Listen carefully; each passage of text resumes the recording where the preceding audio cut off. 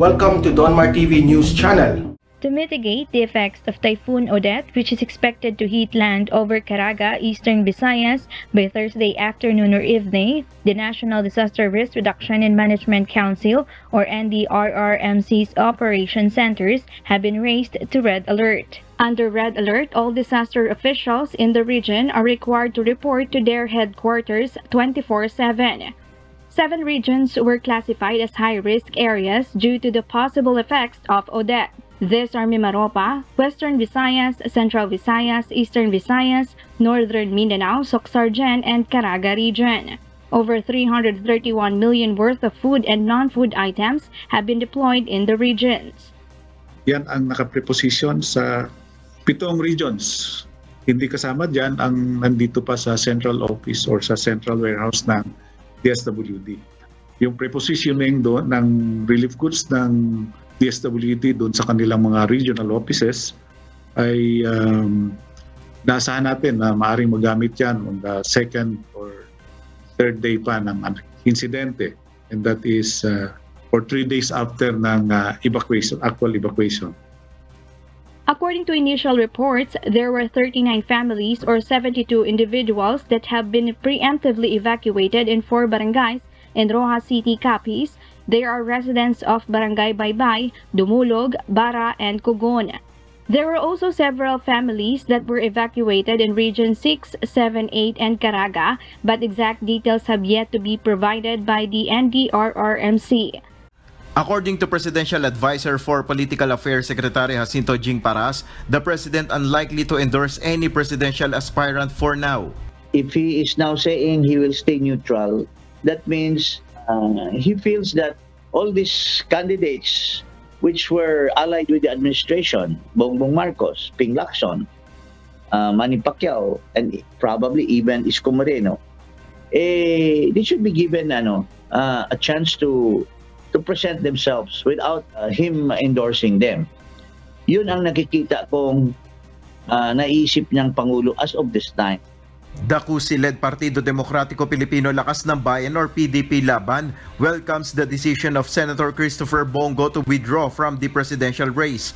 In a statement, PDP Laban Secretary General Melvin Matibag said the party will support the best and most qualified candidate and will await the decision of President Duterte if he endorses any of the presidential aspirants.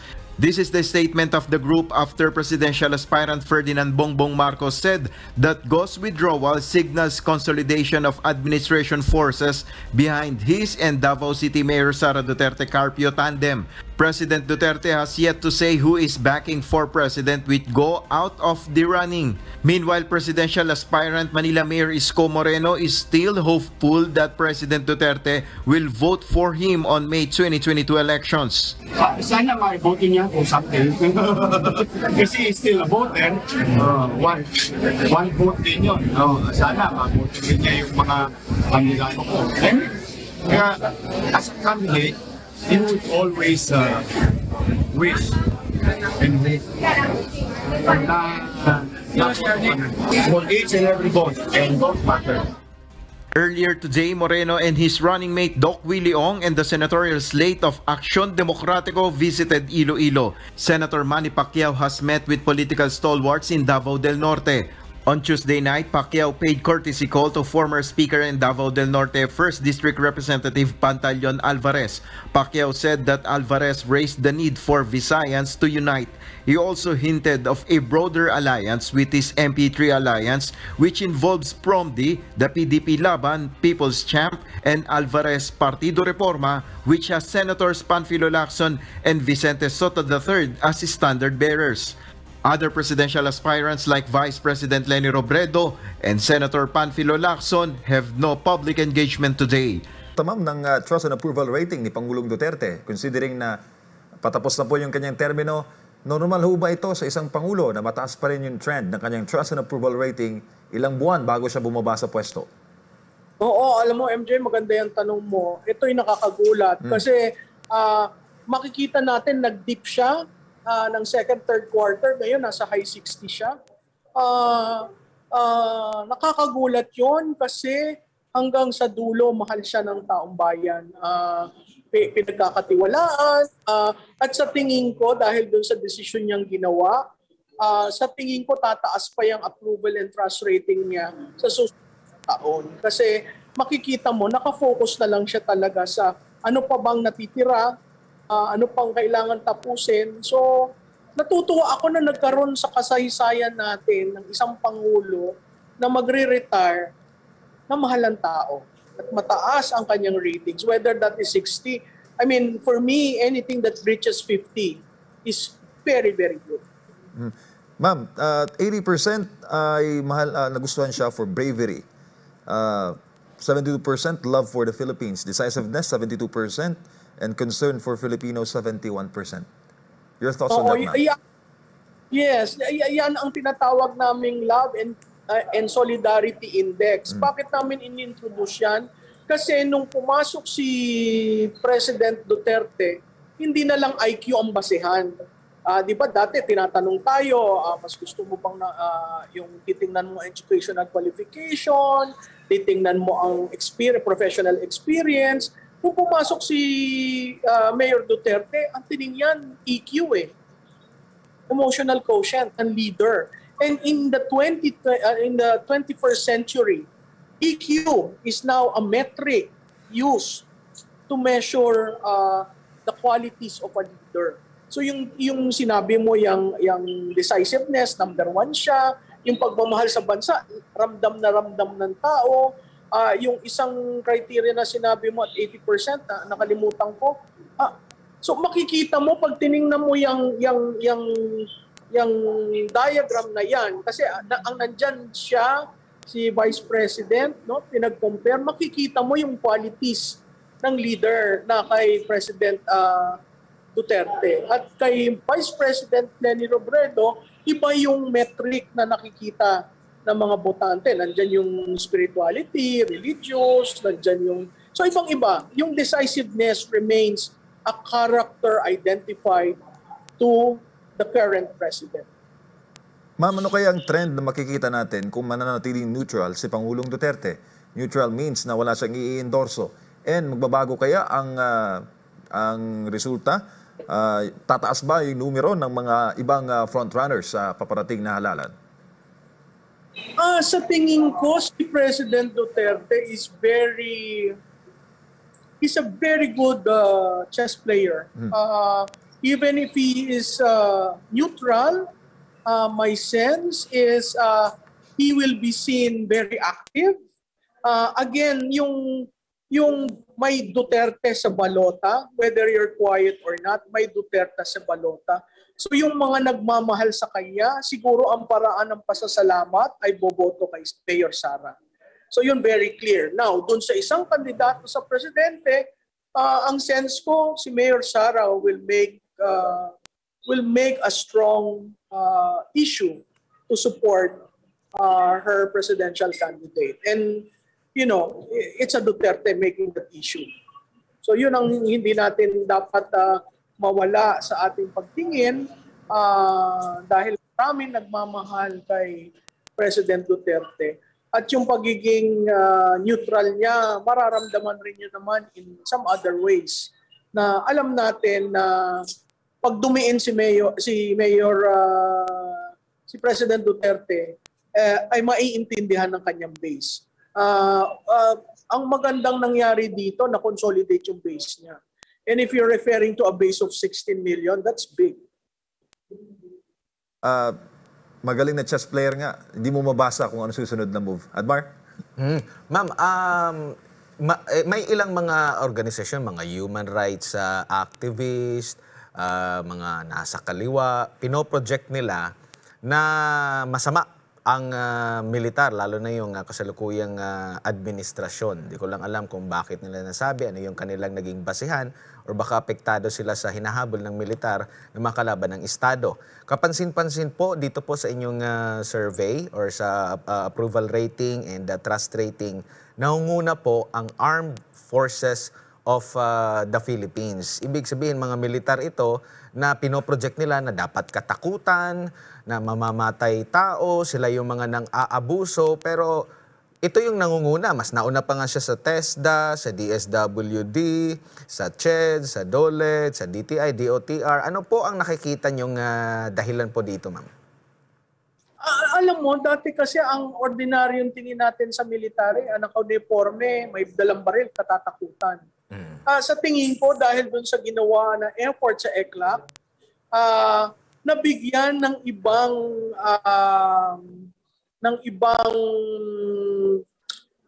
uh, what you call this, uh, a different take of uh, uniformed personnel. Hindi na ho sila kinatatakutan. Nasa komunidad sila, tumutulong sila. Uh, nakita natin ang Army Engineering Brigade, tumutulong dito sa pagtatayo ng mga daan, ng mga eskwelahan. So ano ang nakikita natin sa sa ating militar? Hindi lang po sila para sa solusyong militar uh, nandun rin po sila para sa solusyon ng kapayapaan. So sa tingin ko, napaka, yan ang isang uh, ligasiya ng Pangulo na taas ang base pay ng militar or uniform personnel for that matter. And they were given a role where people uh, feel this is the people's uh, military, that uh, hindi sila dapat katakutan. Makikita rin niyo po yung reaction na yan dun sa declaration ng martial law sa Mindanao. Maraming taga Luzon, sinasabi, wag mag-martial law, wag mag-martial law. Pag pumunta kayo sa Mindanao during that time, ay gusto ng tao ang martial law sa Mindanao. Kasi hmm. maayos ang ang katahimikan, assured, uh, maayos ang uh, kabaligiran, uh, uh, hindi sila natatakot. So, sa tingin ko, uh, diyan sa five years and six months ng ating Pangulo, uh, uh, hindi hindi isang hindi 10 years ha, na, mm. naikot niya. Naikot niya yung imahe ng militar at kahit kapulisan, naikot niya. At nakikita nila na si Pangulo tuwing may namamatay na andon. Mm. Sa tingin ko malaking bagay yan sa isang leader ng kasalukuyang panahon na the leader is able to empathize. So EQ na naman. Uh, not intelligent. It's, it's how you relate uh, to people, to constituents, uh, to the uniformed personnel. Uh, sa ting ako'y natutuwa na ang ng AFP is number one kasi uh, it's very hard to re-engineer such a sector. But uh, in five years and six months, the president was able to do that. Mm-hmm. Ang, ang laging sinasabi po ng uh, mga oposisyon, lalo na pag hindi pabor sa kanila yung resulta ng mga survey, Uh, baka yung mga tinanong ay mga trolls. Uh, ano po yung ano masasabi niyo po sa mga tao ngayon uh, kumpara noon? Naging matalino na ba? Naging mapagmasid na ba? Naging mas more involved ba sila? Uh, tinitingnan na talaga nila yung quality at hindi na sila nagpapadala doon sa mga pasimba-simba wala namang resulta. Nagsisimba nga, religious yeah. nga. Pero dapat uh, may ano yun, may resulta kasi may takot ka sa Diyos, palasimba ka pero kabaliktaran ang uh, uh, nangyayari o resulta ng kanilang uh, ginagawa. Mm-hmm. Uh, siguro yung dun sa ang ang respondents ay troll. Alam niyo mahirap sagutin ang isang questionnaire control. Siguro kung ang tanong mo lang eh tatlo, uh, madali. Pero yung aming questionnaire may if, but, why, when. Eh. Mm. So technically, uh, pag medyo ginanon mo yon uh, kailangan tao na totoo. Um, uh, yan yung sa troll. Ngayon, yung dun sa sa uh, sa kampanya, uh, pwede ka kasi magsimba ng magsimba, pwede kang makinig sa simbahan, at pwede mo rin tingnan uh, na uh, hindi lahat ng nagsisimba o hindi nagsisimba ay uh, susunod sa iyo. Siguro ang mahalaga doon yung respeto. And again, in these five years and six months, uh, the president has attacked, attacked certain institutions in our country that has caused uh, the docileness of uh, Filipinos na sunod ng sunod. Isa dyan yung media, isa dyan yung simbahan, uh, isa dyan yung oligarko. So, itong mga ito, marami pang dapat i-attack ni Pangulo eh. Pero ah, sa anim na taon, napakahirap nun kasi kailangan mo rin naman mag-consolidate. Pero kahit siya attack ng attack, tinan mo yung approval rating. Meaning, taong bayan, gusto yung ginagawa niya. Kasi kung ayaw ng taong bayan yan, dapat ang approval rating niya bumaba. Untik na nga bumaba, eh, nung nag-cross ng 51 eh. Pero naiangat. Bakit? Kasi may nagugustuhan ng taong bayan. Kaya nga ang ako parate, huwag niyong tingnan yung kung sinong gumawa. Basta scientific yan survey, makinig kayo. Listen, listen, listen. Observe. Ha? Kasi may sinasabi ang numero. Hindi lang naman yung horse races ang mahalaga. Kailangan mo yan, ginagawa nyo, no? Binubungkal nyo yung survey results. Tama yan. Kasi pag pinag-connect-connect mo yung dots, makikita mo, ah, ang supporter pala ni Presidente ganito. Ah, ang supporter pala niya na mataas ang approval rating, hindi nakapag-aral, hindi nakapagtapos, ganitong edad. Ha? So napakahalaga noon kasi ang survey hindi lamang po preferences. Kahit ka na natalo ah, sa survey na yan, kung marunong ka mag-connect ng dots at i-analyze, ah, malaking bagay po yon para nyo maintindihan asan ang pulso ng tao. Mhm. Ma'am, kapansin-pansin